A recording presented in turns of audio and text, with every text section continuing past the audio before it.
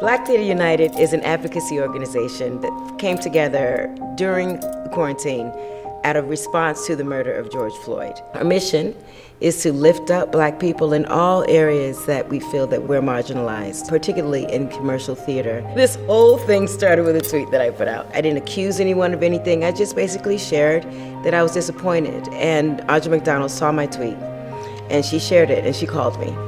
And she said, We got to do something about this. So we called on all of our friends to discuss how we can come together and, and be a, a force that is recognized and acknowledged for the protection of black bodies, black lives, and black talent. Immediately, everyone started calling and calling, and it was like the Brady Bunch cubicle where it just keeps growing, or that, that scene from Bye Bye Birdie where they're on the phone, in the phone, in the phone, in the phone. Those of us in the theater community, primarily, uh, those of us that have been in the industry for several years, felt like our industry hadn't uh, come together in a response to this global awareness of the bias against black people. We came together uh, initially to do a public service announcement to say that this is where we stand on this issue and we stand together.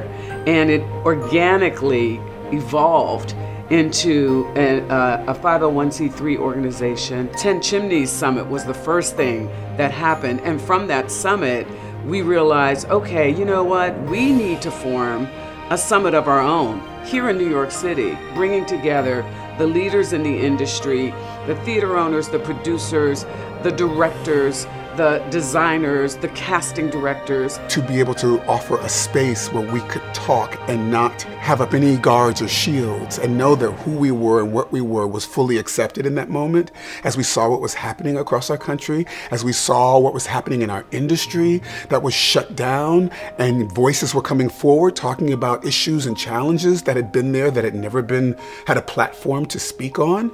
That was the beginning.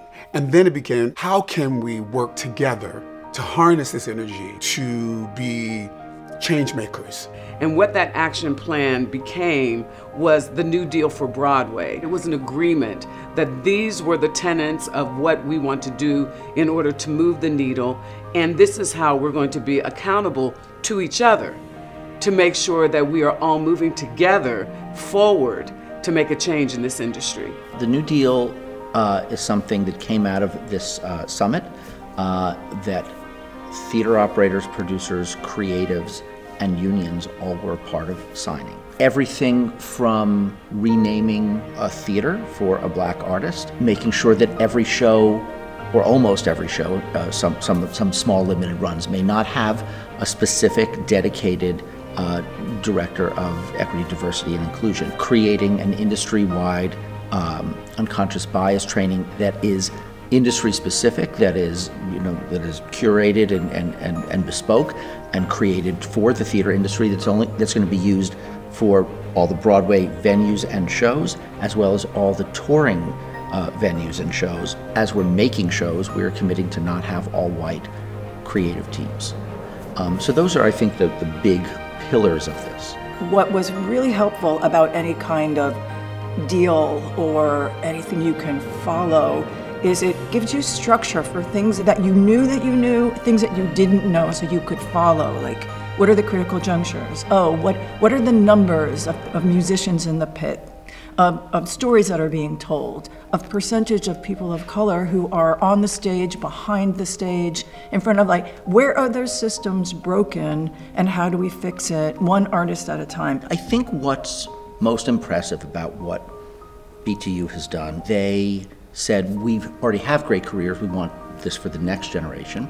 It was not just about who can be seen, it's about who isn't being seen and making sure that they're there as well. It's allowing the spectrum of talent to meet the spectrum of work that's available on, on and off Broadway. Why I'm so passionate about being a part of Black Theater United is because it really is about how we move forward. We also are a generation of artists who understand the legacy that we come from and that we were able to achieve what we've achieved because we stand on the shoulders of people that came before us. So for us, it's a deep commitment and responsibility to making sure that we make our industry better so that the next generation coming along has opportunities that we didn't have. We aim to be the examples for these young kids coming up. We aim to empower them with the skills that they need in terms of knowing how to show up to an audition, knowing what's important in a room, knowing what to fight for, what to let go of,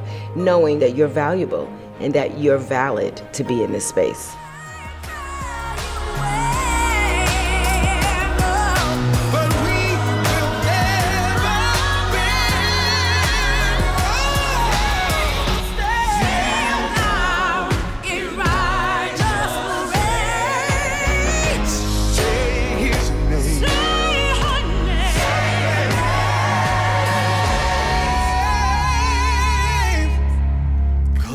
Changed the world. We will stand up for what is right, what is fair, and what is just.